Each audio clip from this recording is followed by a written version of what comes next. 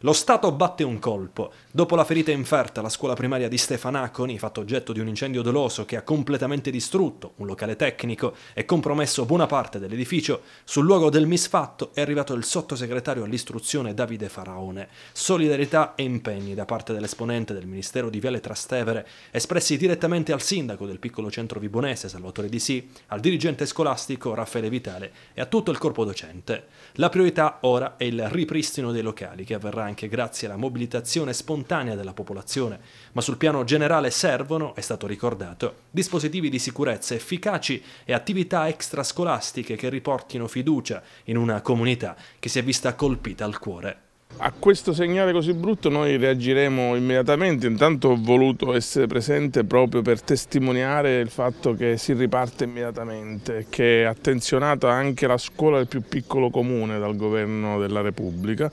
Al tempo stesso con il prefetto, il sindaco, il questore, il comandante dei carabinieri stiamo avviando una serie di azioni che consentiranno a questa scuola di ripartire da un da un lato rispetto alla, sicurezza, dall'altro lato anche rispetto alle attività ordinarie che devono continuare ad andare avanti immediatamente. Fiducioso di sviluppi positivi si è detto il primo cittadino di Stefanaconi. Non ci sono uh, frasi o parole per definire quest'atto criminale, perché si tratta di un atto criminale che se eh, specialmente le scuole che interessano la comunità, pure la comunità è rimasta scioccata. Colpire la scuola, colpire un, un centro di cultura e di legalità è una cosa tremenda